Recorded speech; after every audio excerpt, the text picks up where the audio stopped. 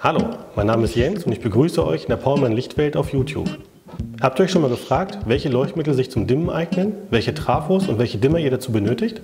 Heute erkläre ich euch, für welche Situationen sich das Dimmen besonders eignet und wie ihr die richtige Kombination für Leuchtmittel, Trafo und Dimmer findet.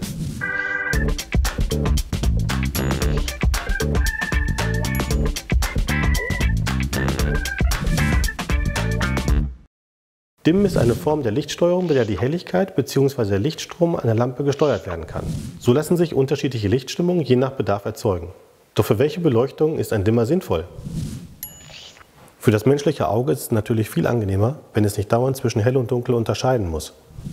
Gerade die Hauptbeleuchtung eines Raumes sollte regelbar sein, denn gerade beim Lesen auf dem Sofa kann eine weniger lichtstarke Leselampe wie diese hier den starken Hell-Dunkel-Kontrast bei ausgeschaltetem Hauptlicht nicht ausgleichen. So ist doch schon viel besser. Ein Dimmer ist besonders sinnvoll, wenn Wohnbereiche für mehrere Zwecke benutzt werden.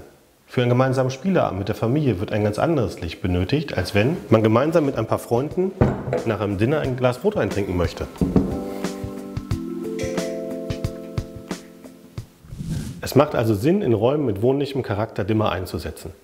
In Technikräumen, Hauswirtschaftsräumen oder, so wie hier bei Arbeitslicht, werden Dimmer eigentlich nicht benötigt. Bei der Lichtplanung solltet ihr ganz genau überlegen, wie viel Licht zu welchem Zweck in welchem Raum benötigt wird. Und ganz nebenbei spart ihr durch Herunterdimmen noch Energie. Wer sich für den Einsatz eines Dimmers entschieden hat, muss darauf achten, welche Lichttechnik unter der Decke installiert ist. Grundsätzlich dimmbar sind Glühlampen und Halogenlampen. Bei Energiesparlampen ist es allerdings ganz anders. Bei denen ist meist kein Dimmen möglich. Viele LED-Lampen hingegen können gedimmt werden. Man sollte nur darauf achten, dass sie dafür ausgelegt und gekennzeichnet sind. Erkennen könnt ihr das an dem Dimmen-Symbol auf der Produktverpackung. Seht ihr dieses Symbol, ist grundsätzlich Dimmen möglich. Wichtig ist, dass ihr dann noch den richtigen Trafo und Dimmer auswählt. Wie ihr das macht, zeige ich euch jetzt. Die drei Buchstaben R, L und C kennzeichnen Dimmer und elektronische Transformatoren. Für eine fehlerfreie Installation müssen die entsprechenden Buchstaben auf Dimmer, Leuchtmittel und Trafo übereinstimmen. Dabei hilft euch diese Tabelle, die ihr auch auf der Porma-Webseite findet. Habt ihr zum Beispiel LED-Leuchtmittel für den 230-Volt-Betrieb, dann sind diese mit handelsüblichen Phasenanschnittsdimmern ohne Beachtung der Mindestlast des Dimmers dimmbar. Beim 12-Volt LED-Leuchtmittel mit einem elektronischen Trafo wird hingegen ein Phasenabschnittsdimmer benötigt. Bei LEDs kann man bei der Wahl des Trafos und des Dimmers auf Nummer sicher gehen, wenn man auf LED ausgelegte Produkte zurückgreift. Dies ist ein Phasenanschnittsdimmer mit einem geringen Mindestlastbereich. 12 Volt Einbauleuchtensets von Paulmann beinhalten immer den passenden Trafo. Ihr müsst euch also nur noch um den richtigen Dimmer kümmern.